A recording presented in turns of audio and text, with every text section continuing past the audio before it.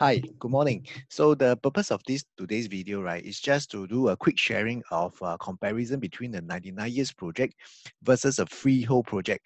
Now, why this? Uh, why am I doing this uh, video, right? Is because I got a very uh, interesting question from a friend who asked about um, Penrose and Noma, which is launching at the same time, and um, he's questioning that, hey, how come a Noma is uh, spell, uh, selling at much lower per square feet as compared to uh, previously quoted Penrose? Uh, some of the agents are quoting at 1007 so he's, he's saying that it doesn't it make sense uh, to actually buy uh, noma versus a penrose because noma is freehold you know. Freehold uh, tends to be performing better than uh, um, this uh, so-called uh, 99 years property correct?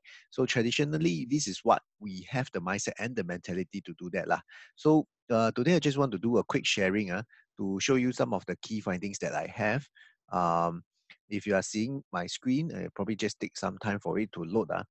Okay, so I did uh, same internet, uh, same uh, research findings and uh, uh, comparison for the past projects that is happening in District 14 um, using Sims Urban Oasis. So Sim Urban Oasis, right, is a project that is launched a few years back.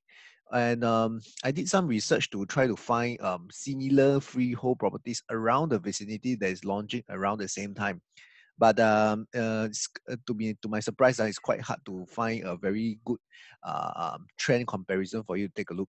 So after uh, uh, trying to matter matter for about half an hour, this is the so-called the best result that I can show you lah. So you can see right now over here, this is a Sim Urban Oasis, which is what we are using for comparison as a basis. Huh? So Sim Urban Oasis is a 99-year leasehold. It's launched in um, July 2017, if I'm not wrong.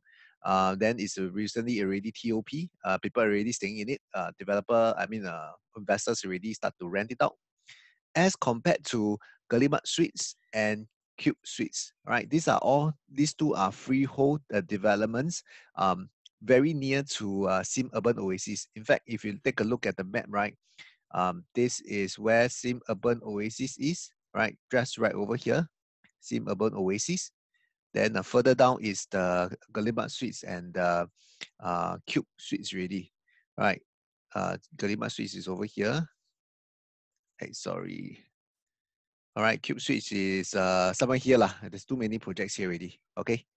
So as you can see, right, when I click on the, I just do a very quick comparison, a very um, broad-based uh, kind of compare. When I click compare, right, you can see the trend line, uh, since the start of uh, 20, July 2017, right, until now, uh, you can see there is a very beautiful trend line that is appearing for Sim Urban Oasis. All right, you can see in terms of growth rate, the one in orange, average pricing, right, it has growth about 13%. All right, in terms of average pricing, uh, over a period of about three years.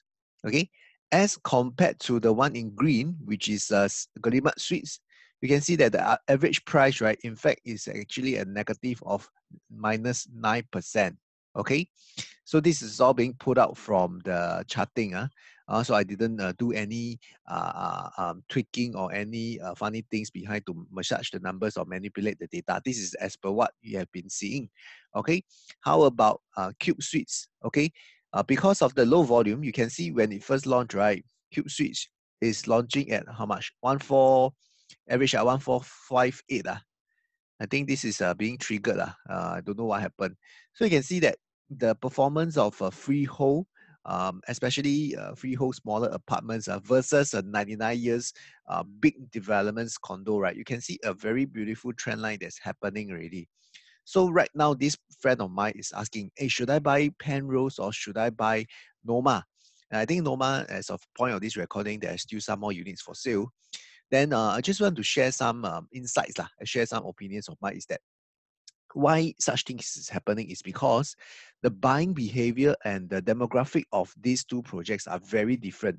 Um, 99 years condo versus a freehold apartment.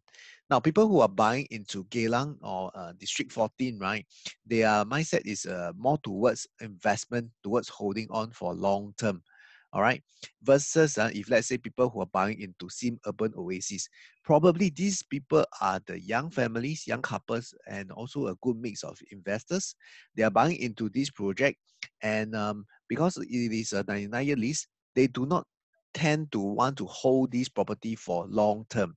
What, what I meant by long term is more than 15 years. So you will see that there is some trading activities going on. And that is the reason why you can see Penrose, right? Eh, no, not Penrose, sorry. Sim Urban Oasis is having some this kind of uh, uh charting to show lah, right? You can see there's very good movement uh, all around throughout throughout the past few years. Okay, so uh, my dear friend, if you are watching this, um, Noma or Penrose, I think the answer is very clear already lah. So uh, I hope this video helps you. And then uh, if you like this video, you can uh, feel free to share it with your friend. All right. So that's all for my um, sharing, just a quick sharing today lah. So just to give you some understanding at the same time, uh, do a, a sharing with my viewers as well. Okay, thank you and goodbye.